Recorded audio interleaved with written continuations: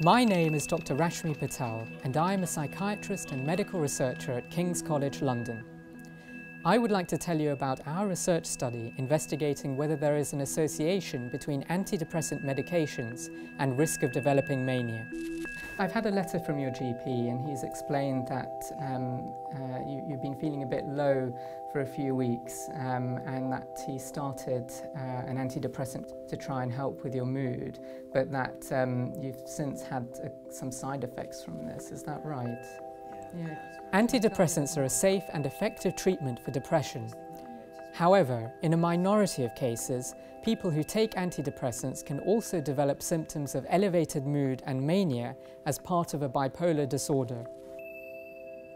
This is important because although bipolar disorder is uncommon, people who are affected often first present with symptoms of depression, and if left untreated, bipolar disorder can be very distressing and significantly affect social and occupational functioning. Is this the first time you've taken an antidepressant? It is. It is. In our study, we investigated the association of antidepressants with mania in people with depression receiving care from the South London and Maudsley NHS Foundation Trust, a large provider of specialist mental health care.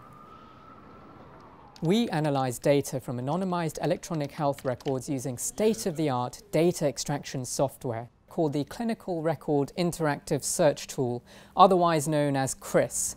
Using CRIS, we were able to obtain data from over 21,000 people with depression our research is particularly important as there are few studies which have investigated this question using large volumes of clinical data obtained from a real-world healthcare setting in the UK.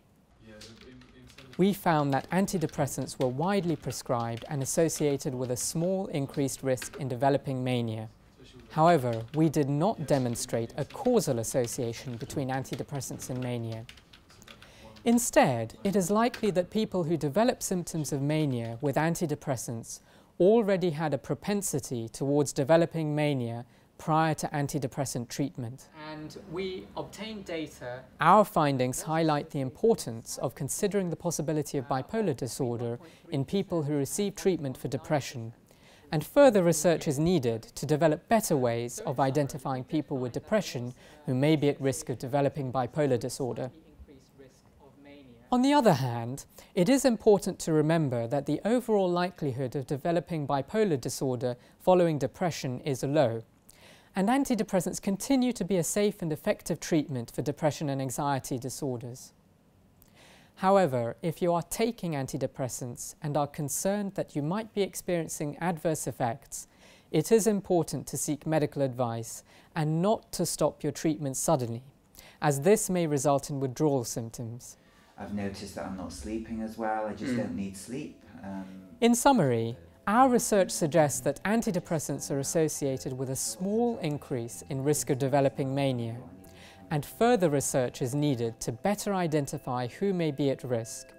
But the overall risk is low, and antidepressants continue to be a safe and effective treatment for depression.